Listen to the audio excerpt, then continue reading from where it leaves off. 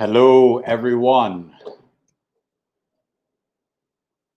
Okay, uh, my name is Russell Watson, and I am really pleased to welcome you to the Catapult Lockdown Virtual Salon program. This afternoon, um, we'll be in discussion with Amir Hall, writer, uh, performance artist, um, video artists, um, a truly interdisciplinary practice.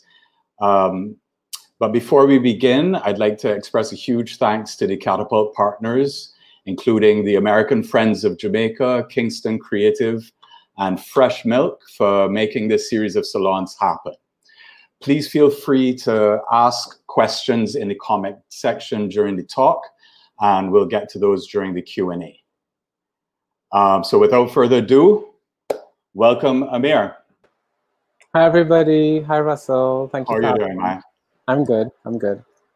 All right. Um, so I think we should just jump right in, Amir. And um, if we could have the first uh, video clip.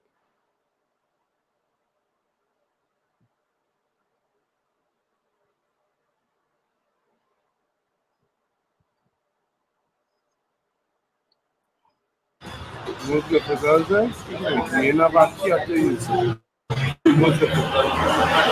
do you mean? What do you mean? Pressure when you have a pressure. What kind of what, what kind of pressure? Hmm? Pressure. Trying to say you get anything easy, man. I don't work hard. Just like get things easy. Let me go take my last money and give you me give me my last money. It hard because men had to work hard. I think years get easy down pressure, that's what they're trying to say we still had to work. When I war, we had to work.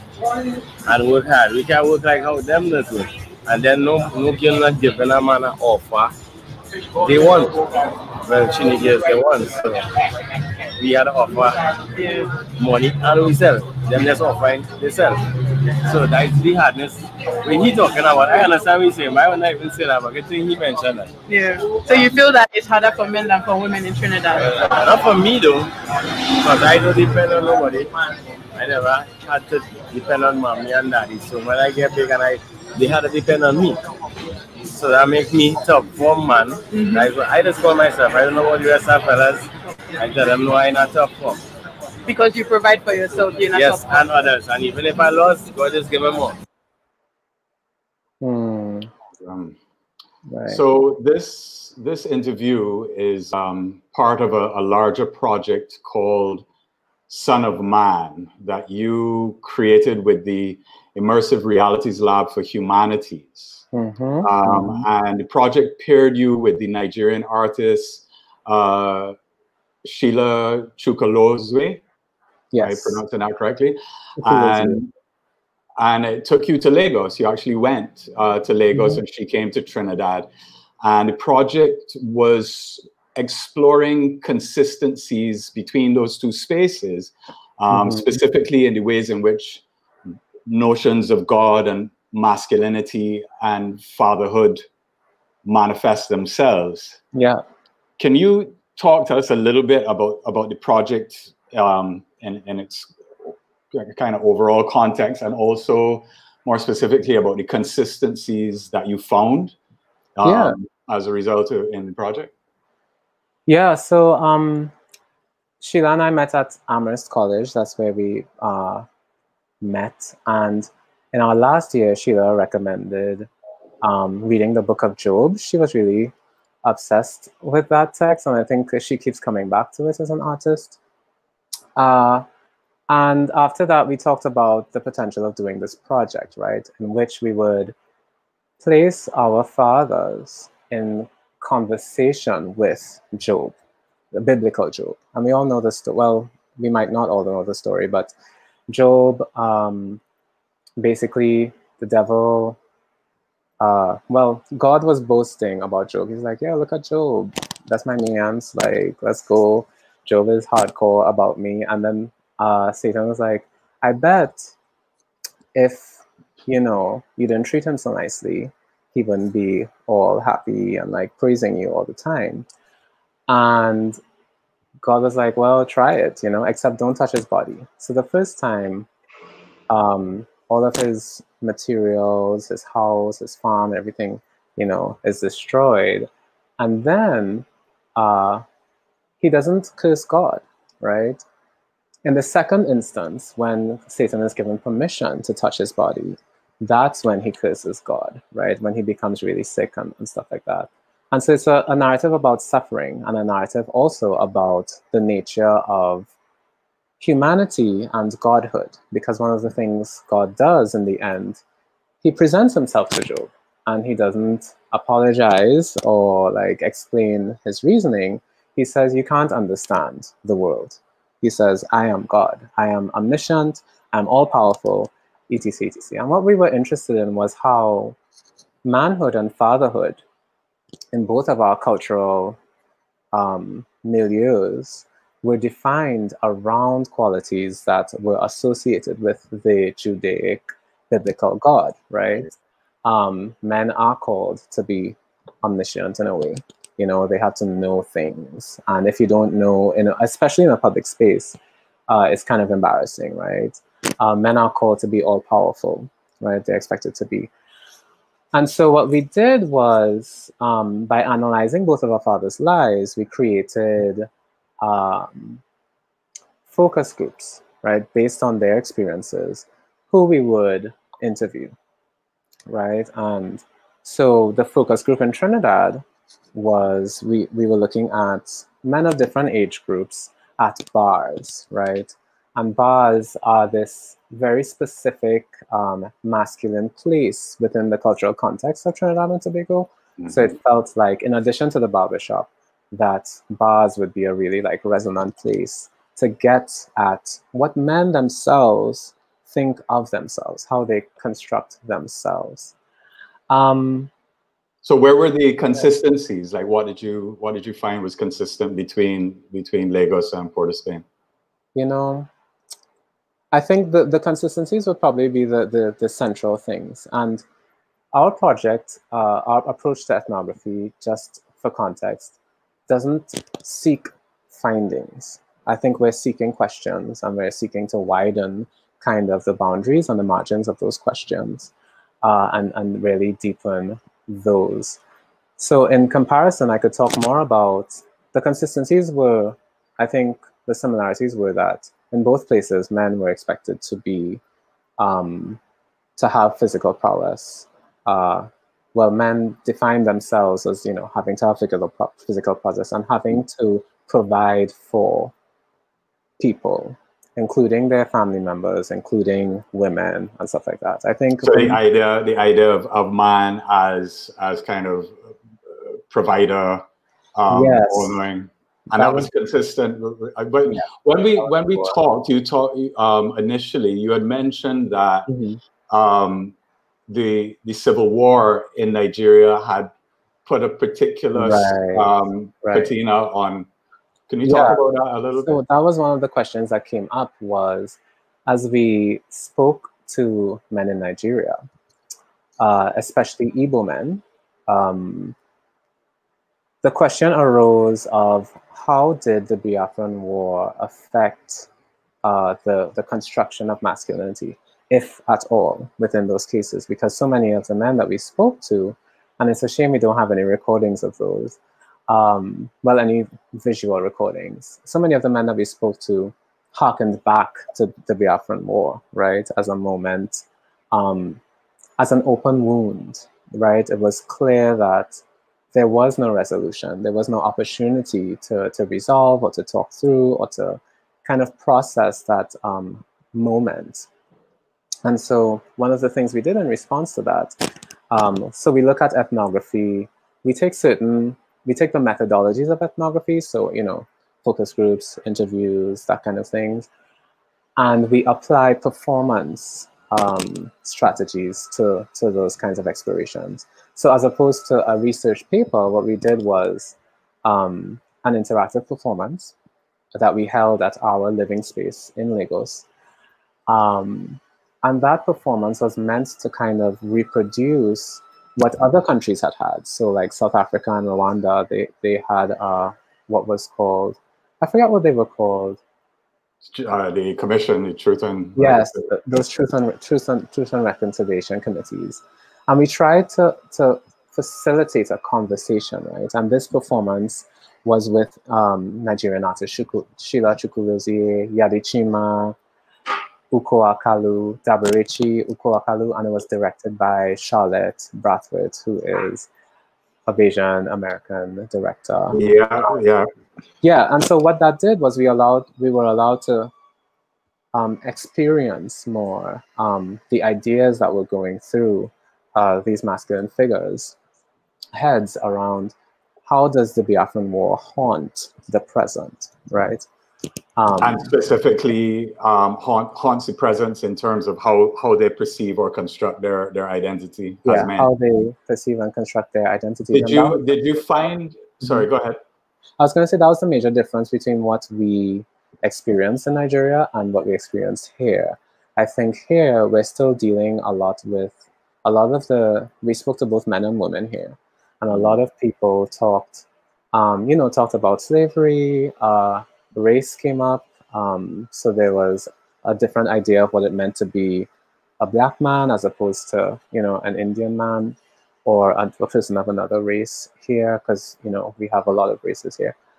Um, and the other thing that was very starkly different was that uh, men in the Caribbean, when talking about themselves, rarely spoke about themselves outside of the context of women, right? So it was almost always in comparison or in relationship in relation, to right. women which I mean doesn't surprise me. But no, I mean uh, so much of the conversation now is about about the binary nature of, gender identity. You know, we kind of absolutely know this. Um, I want to talk about uh, the the performance that you you created um, in in Lagos with um, Charlotte. Yeah. Um, so when I was looking at your work, one of the things that I really enjoyed was uh, how you approach space, right? Mm-hmm. Um, you know, we you said that you don't really consider your performance work to be conventional theater, right? right. Um, and one of the, you know, I mean, even though it, in terms of how it's constructed, there are a lot of markers that um, are the are, are consistent with with theatrical, like conventional theatrical practice, right? But right one of the things that really stood out to me is the multiplicity of spaces that you use. You know, and on one hand, there's um, these, these kind of semi public spaces where you know there are gatherings of people in, in um, like small spaces or domestic spaces. Yeah. There's both indoor and outdoor. There's some um, uh, you know stuff that you do that is in in the formal theater environment in actual mm-hmm. theater with lighting and so on. But then there's also the stuff that you do that is in very private in your domestic spaces. Right. Um, so i wanted you to talk a little bit about how you define the difference between your process and conventional theater. Like have you really kind of targeted what what differentiates it yeah, yeah. So um actually Sheila was Sheila Chukwulozie, the artist I led project Son of Man with, was um, the person that introduced me to devised theater. Uh, and in uh, devised theater for a lot of people, um, I think the main markers are that sometimes the script is the last thing that's finalized, right? So in traditional theater, you have a script, you have stage directions, and you go in with that, you begin rehearsing, you learn your lines, etc, etc. In the devised process, in the um, process, we go into rehearsal first, right? We begin with the body, and um, we begin with the ideas. Sometimes we begin with images, and from there we generate text. And sometimes that turns into a script. Sometimes that turns into the spoken word, and um, I think in our process, Sheila and I really widened what um, the devised process to even outside of performance, right? So this entire perform um, project Son of Man takes a sorry. Can we can we get the the the next image, uh, Philip, please? Mm-hmm, no problem. Yeah, go ahead, Amir. Yeah, uh, is he going to put it up now? Yeah, all right. Uh huh. Okay. Yeah, so on the left uh, is the performance that we did in Lagos um, called Happy Survival. And you can get a sense, you know, this isn't a home space, this is outside of um, a living complex called 1004. And you can see there's a proximity to, to the audience that traditional mm-hmm. theater doesn't really allow for. In fact, this prompt that we asked them to do, it was about suffering, right? And I, my character was was um, experiencing suffering because at, we don't see it, but what we're standing on is gravel. The entire yard was gravel. Um, and Sheila's character was a preacher who was advocating for peace for me. And the only way that the audience could assuage my suffering was to touch me somewhere and to maintain physical connection. And so that's why people's hands are on my body. And so it's a real way to, to think about how can we use the different um, elements of theater, the audience, the stage, to really get at the truth of the experience, not necessarily the idea, but have people enter into that experience in an immersive way. So like um, through through participation, be, being a participating a participating member of the performance, not just yes. observer of the performance. Yes, and then for us, it's a meaningful process because we also enter into that embodiment. So it becomes more than something that we can write about and understand in academic terms, but we can see in the, we can address in the body where those tensions kind of show up and where those releases show up. For instance, the first person to, to, um, to try to assuage my, my, um, my suffering by touching me, uh, I remember the kind of relief that that was because I had been standing there for quite some time. And that's um, next to the image of, oh, well, the, the next image. Back, can we come back to that image really quick? Yeah.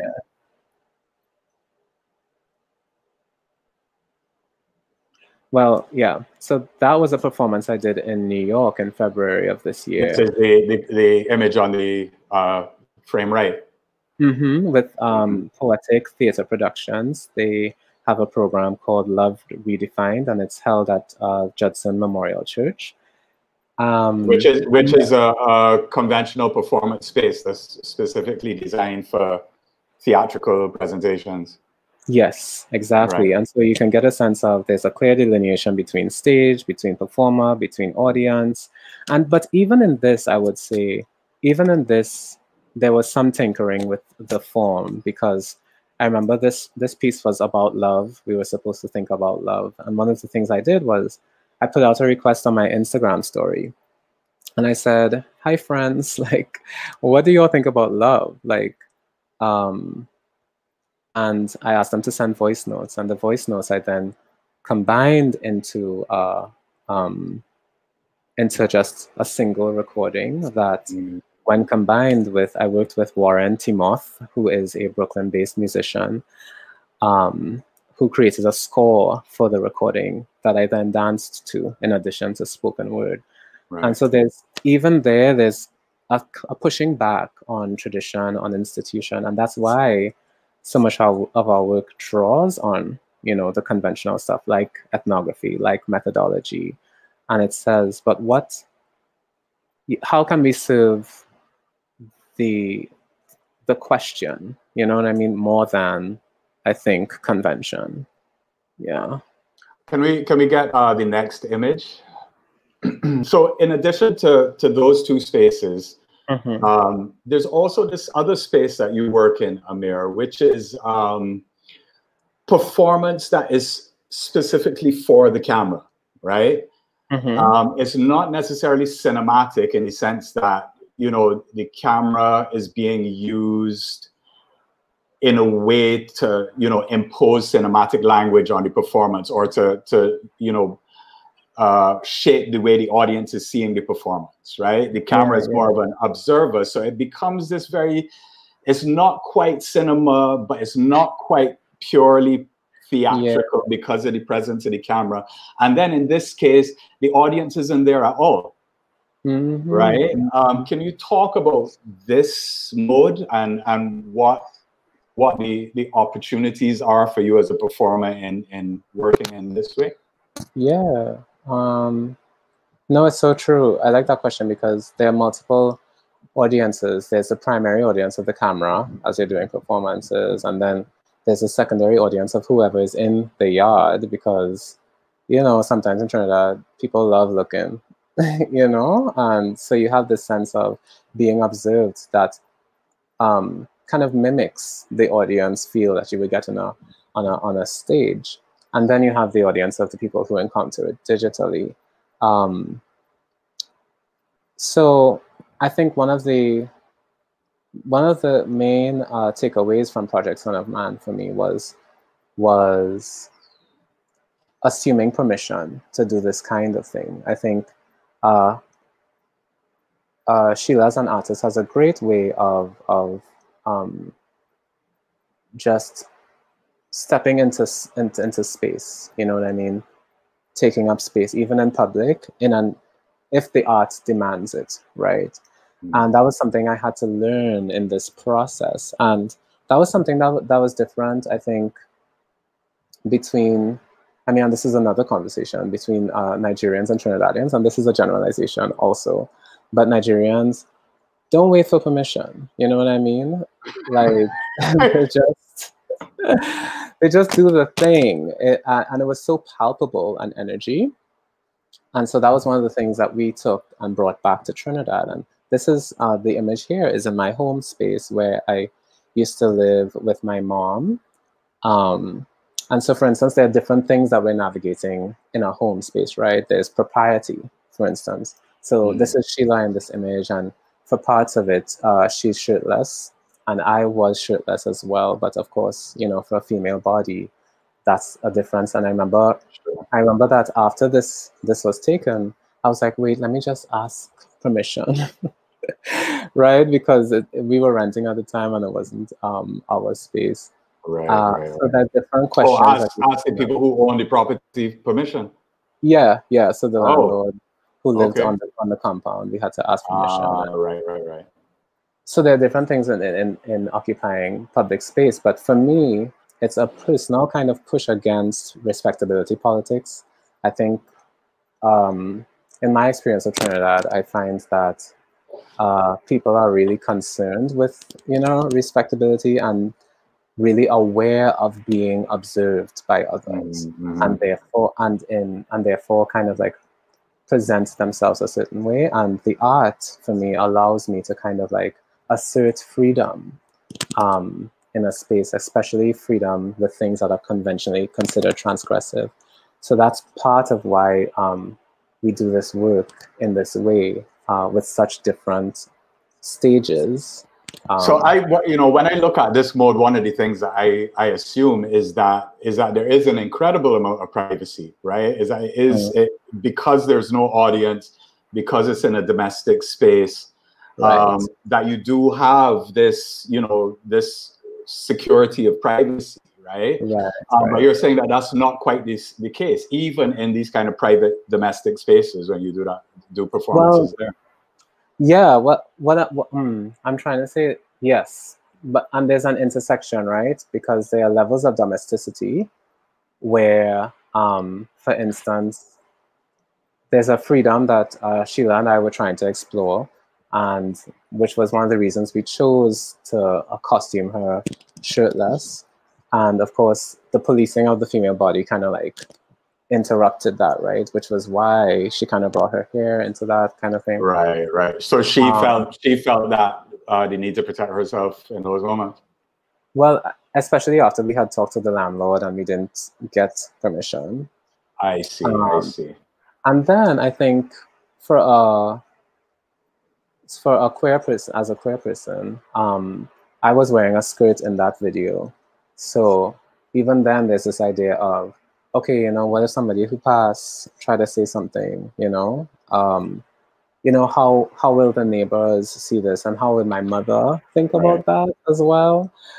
So even though it's a domestic space, I think there's certain um certain ways in which like inherent freedoms, even in the domestic space, are um, restricted by gender norms and gender expectations.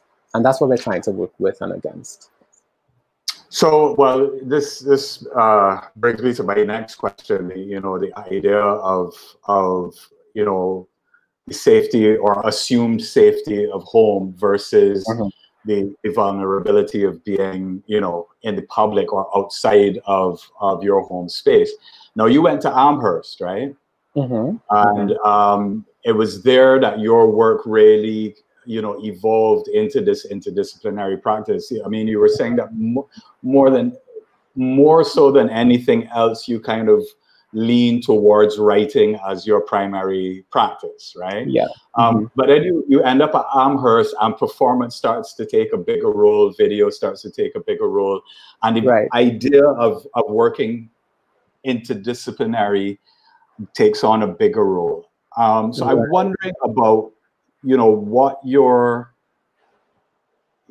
come up so to speak was like in trinidad that would have primed you for that kind of of uh, of transition from being considering yourself you know singularly a writer and then being able to, uh-huh. to take on this approach yeah mm, so i wouldn't even say that i considered myself a writer before leaving trinidad i think i credit you, you did not I wouldn't, yeah, I wouldn't say that. At that point, I was in that conversation with my parents where I was like deciding what I would major in. And they were like, oh, do economics or uh, languages, you know, do what will make you money. And of course, you know, that comes from, that comes from a desire for my safety, right?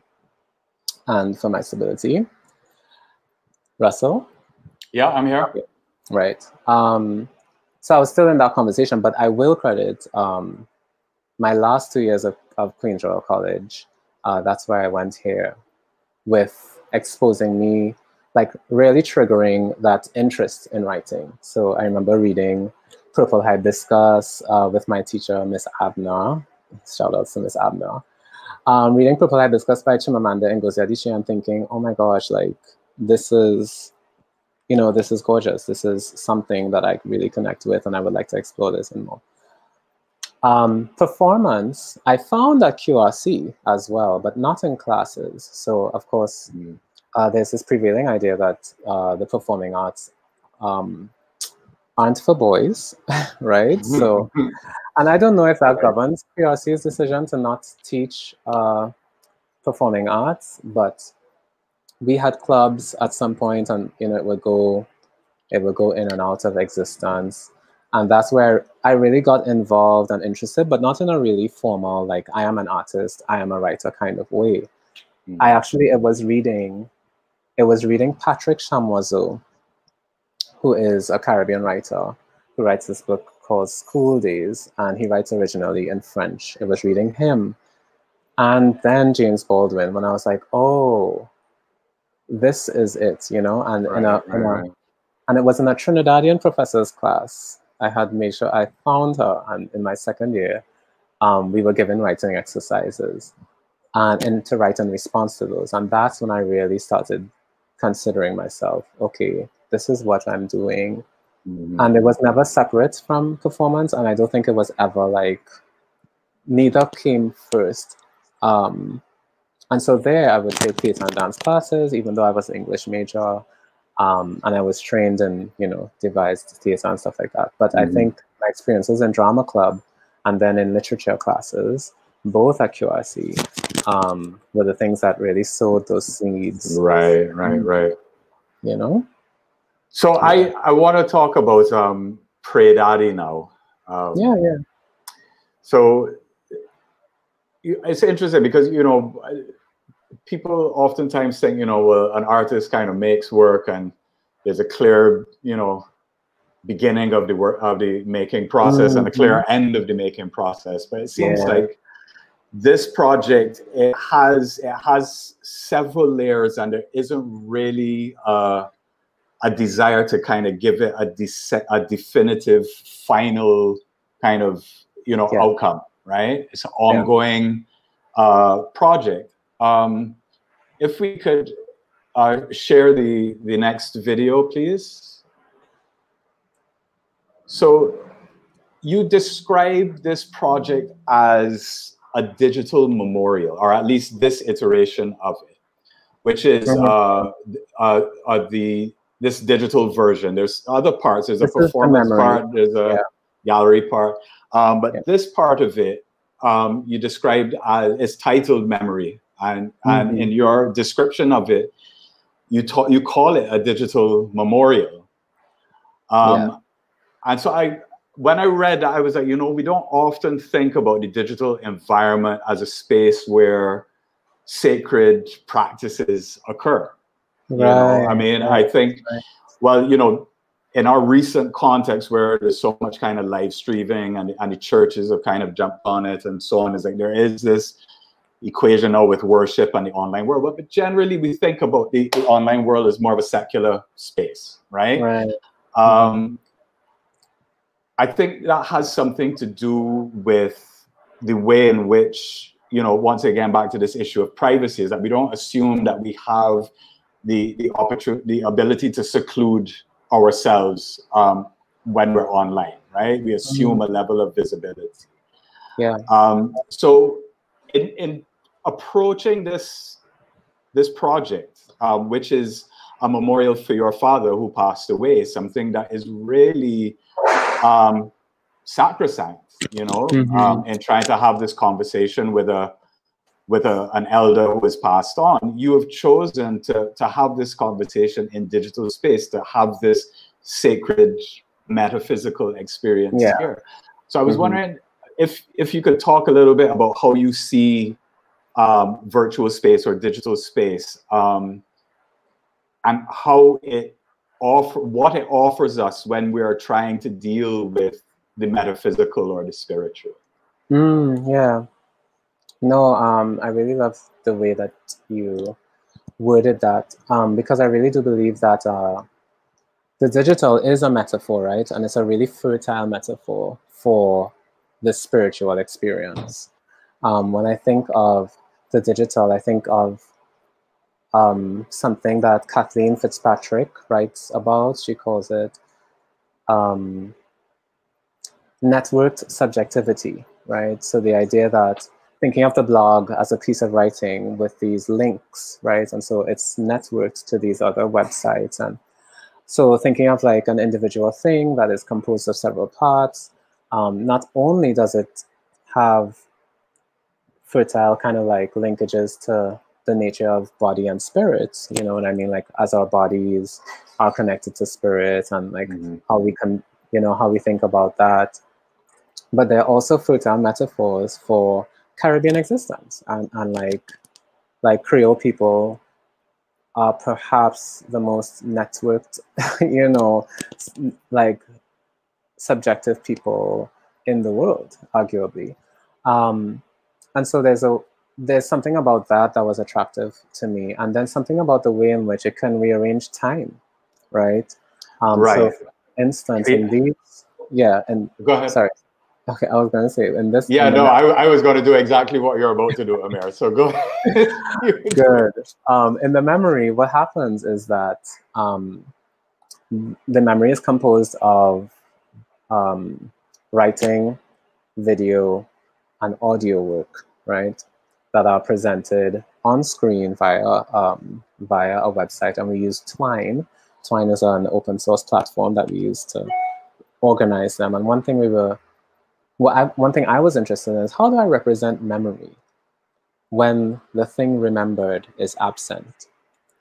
Um, especially in the way that memory works for me, which is that it happens over and over, and every time it happens, it happens differently, you know? So, how do I represent this moment when I remember that, you know, my father has passed away? So, what um, the digital allowed me to do, and I really have to thank Andrew Smith from the Immersive Realities Lab for the Humanities and Marisa Parham and Sheila Chukwulozie, who also worked with me on this, uh, for figuring this out, was to completely randomize um, this sequence. And so every time you go in, you start and you end at the end. Um, at the start and end at the, in the same At- place. yes, you start and end in the same place, but the journey that you take is completely individual. just to Uh, tell folks, so how this how this um, interface works when you when you enter the project, Mhm. there's um, there's text on the screen, and Yeah. then we're hearing Amir voice the text, and Mhm. then there's either a, a photograph or a video Yeah. that we we view as we're hearing him voicing uh, th- this succession of memories of of this of uh, engagements with his father who's passed on. So when we come in, we always land on the same page. Yes. And when we leave, we always end on the same page. Yeah. But the way in which we encounter each piece, each individual bit of text and video is randomized every Yes. time you you go in. So there's no there's no real there, there's a beginning and end, but you leave the the control of the beginning of the middle up to chance, right? Yeah. and that's i think that was meant to kind of on my ruminations on memory to to to, to represent that process of you know remembering because when you remember something it's the same thing that you're remembering but the way you remember it is different every time. And so it was the point to like deepen and widen that place of memory um, and let people come into a specific memory of mine you know? And it was composed of um, different dreams that I had that my father, you know, appeared in after his death, and you know, just different things that I was. And the writing that um, composes this digital thing was my senior thesis, which was a novella Right. about my father's life. Um, and the entire thing is called the Pray Daddy Project, uh, which I call a digital J'ouvert, because J'ouvert seems to be the like the most specific kind of way to connote that um, this project is is an opening. It's a it's a threshold more than anything else. Yeah, that's as much as I was saying. I, I want to uh, go back uh, um, to an earlier uh, issue that, that came up in our talk, um, Amir, this Mhm. question of, of audience Mhm. and, and the role that audience plays. Um,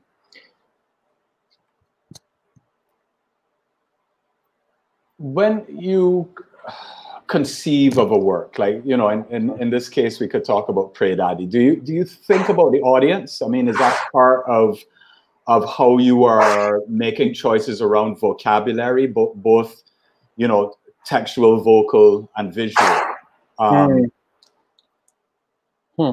And if if so, um, how does it? How does that awareness of audience shape your choices around around your vocabulary? Yeah. Um, honestly, very rarely do I think specifically about audience. Most of so most of my work come um, originates in the body or in writing, and they're always like on the same level for me. So either it's you know I've rehearsed something, or I was doing improvisational movement, and that led to some writing, or writing leads to images or whatever. And um, with Daddy, for instance, uh, with this, this is the question my director asked me. Um, the piece that I'm preparing for the end of October, Daddy, the prayer, um, is Which is a, a performance work.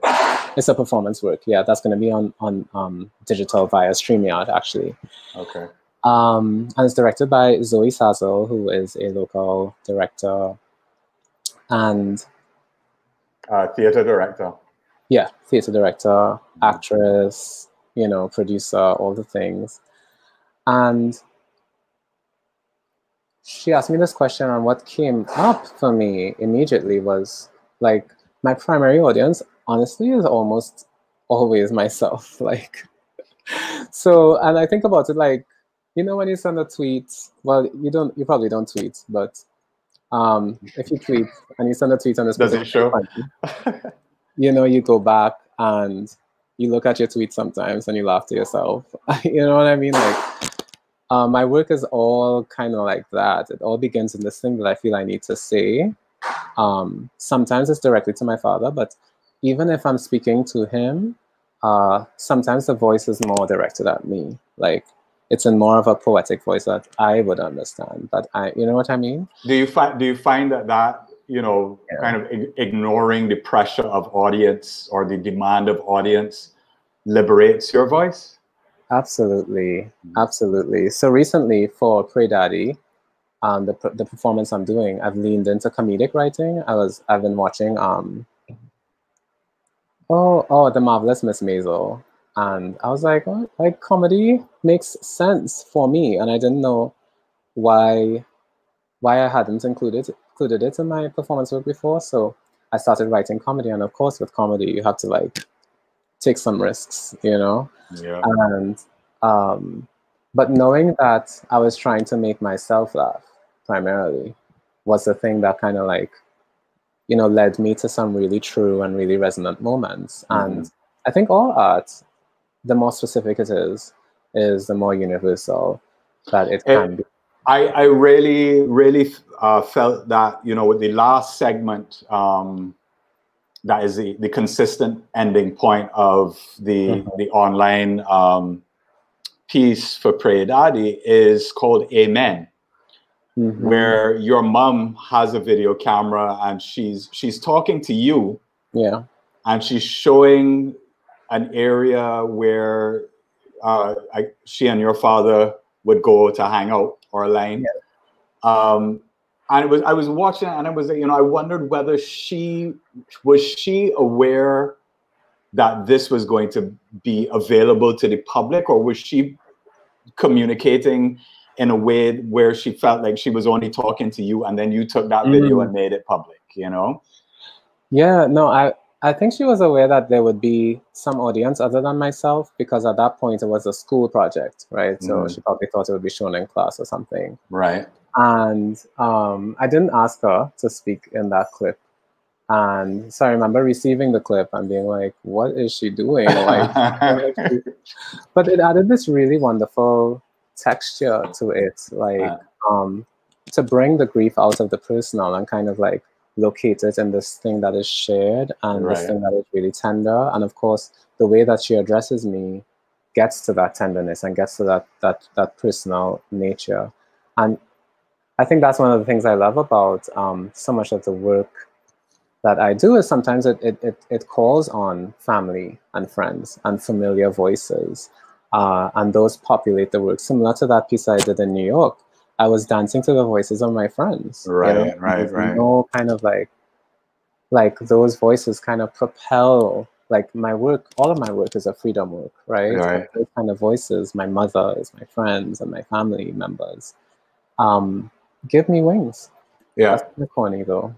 It, it, well, you know, I, I had a similar experience when I encountered um, that when I was, you know, kind of starting my journey with photography. I came across uh, Deborah Willis's writing about family albums, Mm, and it changed, it changed my life. It totally changed the way in which I understood photography's role in the world. You know, it's like Mhm. while I was at school and I'm training, I was thinking very much about, you know, kind of high professional photography and that kind of thing. And I was like, you know, no, photography has this, you know, has this other element that is that is really, really powerful. And it is not about, you know, you know, high production value or perfection Mm, with composition and things like that. It was um it was a more um I guess e- emotional thing. Um yeah.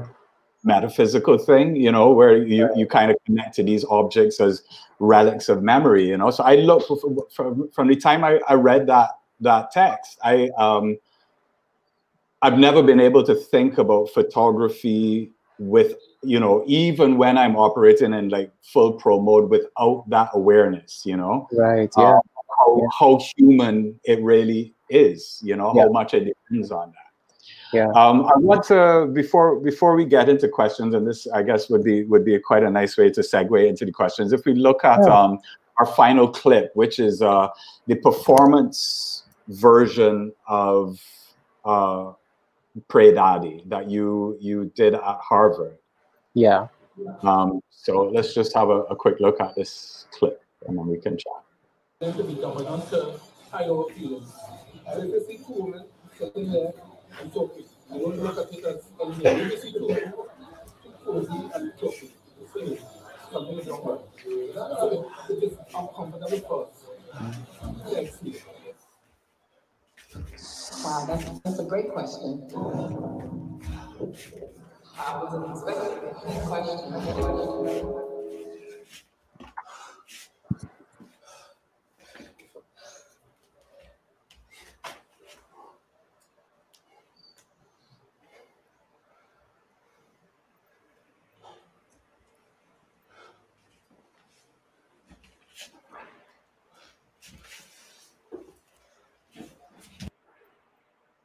Thanks. Yeah, I um, I, I really um, enjoyed um, being introduced to your work, uh, Amir, because it really does have you know such a, a wide breadth of form. You know, you seem really comfortable operating on a page in you know conventional theatrical environments. Um, in you know nonlinear performance work is is really you know and then also in, in conventional media modes as well where you're doing like uh, just kind of um, really conventional um,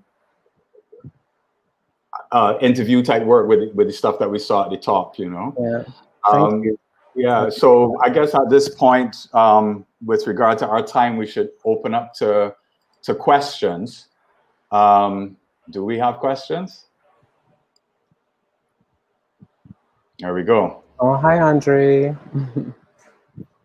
Okay, definitely an astute reading of the gender politics of spaces in TT. Where there are, were there other areas that came to mind in TT society, especially?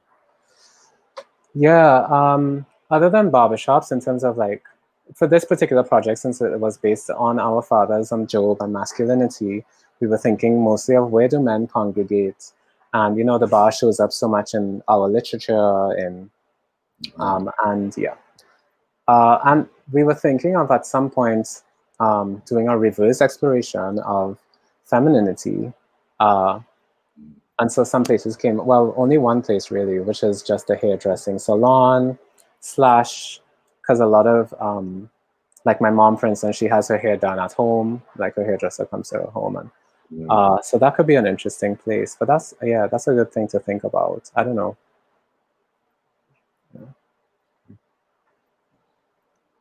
Oh, hi, Fozia. Hmm. What is what is this first? V V, I think very, very prescient. oh theater exploring the power of touch. I this is yeah, I'm showing my age now. I wonder how that would be presented now with the fear currently associated with touching each other. hmm Yeah, I think that's a question um, that we're trying to explore in this upcoming um, performance of Pray Daddy the Prayer because it, it's all digital, right? So there's no live component. Ex- well, no in-person component. There is a live component, um, and so we're. And I still don't have a, an answer to that. Like, how do you reproduce um, proximity? Um, in some previous, like in a class I'm doing now at NYU, uh, when I'm doing my MFA in fiction, uh, a friend and I, a Jin Jinjin Ju, who is a poet, um, and her book is out, coming out, so get get on it. Uh, we, we did this process where we did um, synchronized movement on screen, and so we asked people to touch the different parts of their faces, right? And then to imagine other people in class, you know, Mhm. um, as part of that performance piece. And so we're still digging deep into that, Fozia. So thank you. this is this is why I you know I wanted to talk to you about why I made that question about about spirituality and the digital space because Mm-hmm. definitely in this moment where you know touch has become uh, a taboo thing um, we Yeah. are kind of looking for ways for the digital environment to approximate approximate experiences that we know don't normally exist there you Yeah. know? Yeah, and part of the way is turning inward really and recognizing that absolutely we can reproduce um, those sensations in the way that we, in the way that we contextualize our own touch. You know, so yeah. I wonder to what extent is the idea of transcendence a motivating aesthetic, ideological, philosophical, or spiritual catalyst yeah. for Amir's creative process? Thank you, Yannick. Um, it's so central. And I, I use the term uh, freedom more, and I think a lot about redemption as well. For me, in a very literal kind of crass way, my ancestors didn't go through all of that for me to come and be oppressed. You know what I mean? Or to come and live in anything other than freedom. And um, it feels like every generation uh, within a family has to carry a particular lesson or, or, a particular journey.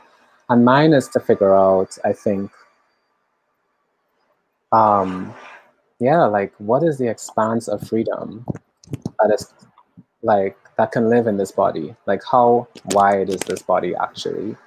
Um, and that really propels me because I feel like in the in the personal stories that I offer, they're all an invitation into taking that journey with me. And so hopefully what they do is they inspire people to see, you know, ways of engaging in, in their own freedom and also ways in defending other people's freedoms, uh, especially marginalized people.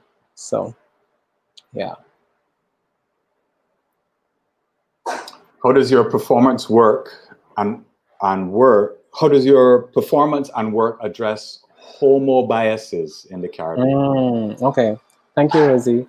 Uh, so this particular performance of uh, Pray Daddy, the prayer, rather than a digital memorial, it, it does the work of, um, I call it a coming out letter to my late father.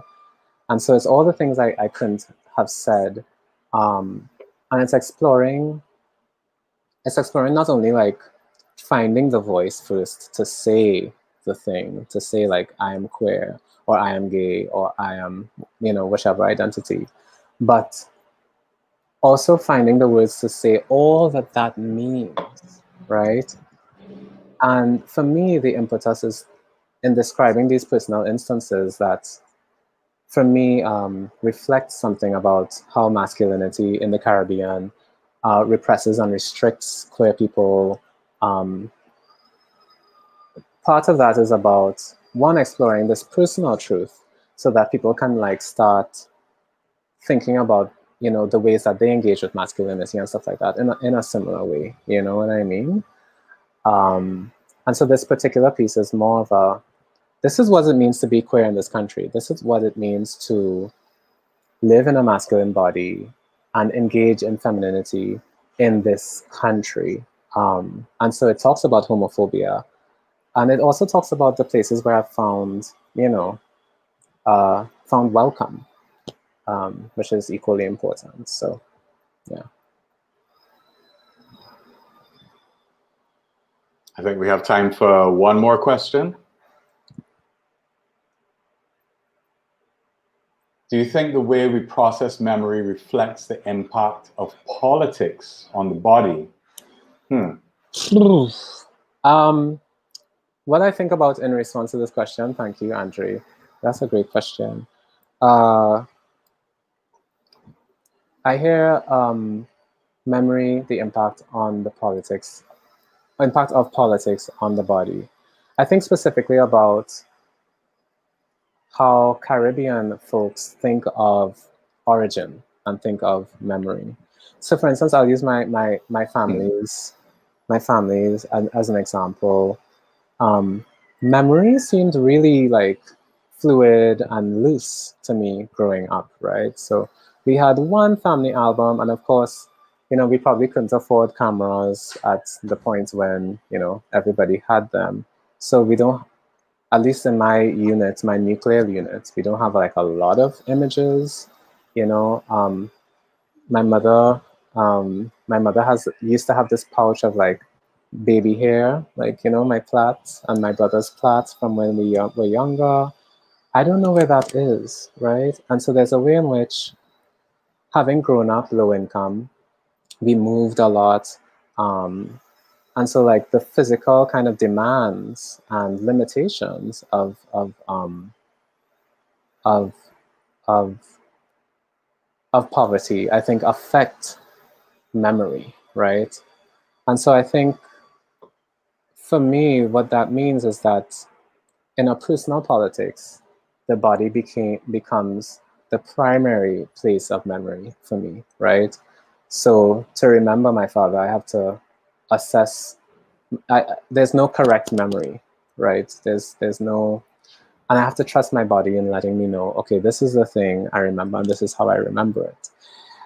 On the flip side, I think also about how people think about origin here, and how they're also always harkening back to these mythic homes of India right. and China and Africa and I'm beginning to think that that um, no longer serves us as as much as we think it does. And I'm wearing a Kenyan shirt as I talk about this. But this is from my friend Naya and her mom in Tanzania. Shout out if you're here. But um, yeah, what I what I think about is how can we then assert our agency of over memory, right? How can we say Trinidad is our origin, and what does that mean for we are the youngest nations on earth, you know? So there's this prerogative then to create a, a way of remembering um, that is new, that will, that addresses us and isn't inherited from like Europe or other places. So that's what I think about. Okay, I think we actually have, have one last question, Amir. Okay, yeah. Cool. right, last one. Right. Do you believe the arts and the media we consume can encourage the necessary change needed in the Caribbean for the next generation? Absolutely. What role will artists play? Yes, to the first question.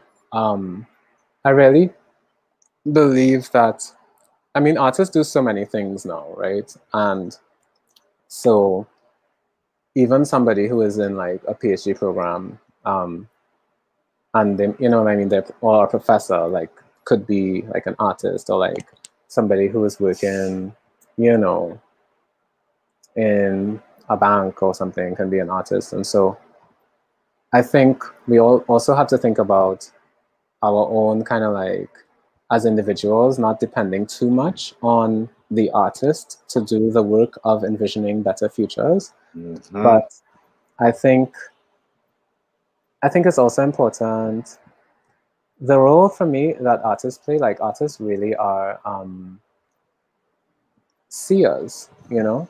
Um, for me, artists are like I, I see artists aligned with, and this is like maybe like controversial, but like obeah people. or like you know there's this way in which we engage um we engage the spiritual. Even if, if even if we don't acknowledge it as such or name it as such um, we engage the spiritual and we manifest. And manifesting and, creating is a specifically spiritual energy. And so the role that i think we play is is one manifesting futures um, or better futures or better realities before they happen or before they're possible, right? And in that way, making them seem possible to present audiences. And I think it's like it's like an angel who heralds, like, you know, the Lord has come. You know, we we can be like that. We can say, this better world is coming. Um, let's prepare for it and let's make it actually. Yeah. Amir, it, it really was such a, a pleasure to meet you and to get introduced to your your work. There's so much more to talk about, but unfortunately, we, we've only had we only have an hour. Yeah. Um, but I, I I I look forward to our conversation uh, continuing beyond the, the salon, and I I think this is probably what what the salon's um, success market is is that it is connecting um, artists that wouldn't pro- that probably would never cross paths, you know. Mhm. Um, and yeah, so th- this was really a treat for me to to to see your work. Thank Um, you, Russell. It was a treat for me as well. And thank you to Catapult, American Friends of Jamaica, Kingston Creative, and Fresh Milk Barbados for having me. Um, this was really a pleasure. And this is important work. So, Yeah. Um, I also want to remind folks that um, Catapult uh, will have uh, another session this afternoon at 4 p.m. Um, I will be the dis- in discussion with Jamaican uh, filmmaker and visual artist Rachel Chin. Um, and finally, uh, you know, I also want to express a thanks to the Catapult partners, the American Friends of Jamaica, Kingston Creative, and Fresh Milk for making the series possible. Also, um, and to remind folks that you know the the conversations that are being uh, presented here are actually archived and available on the Fresh Milk website. So please do, uh, sorry, the Fresh Milk YouTube channel. So please do visit um, and keep watching. Take care.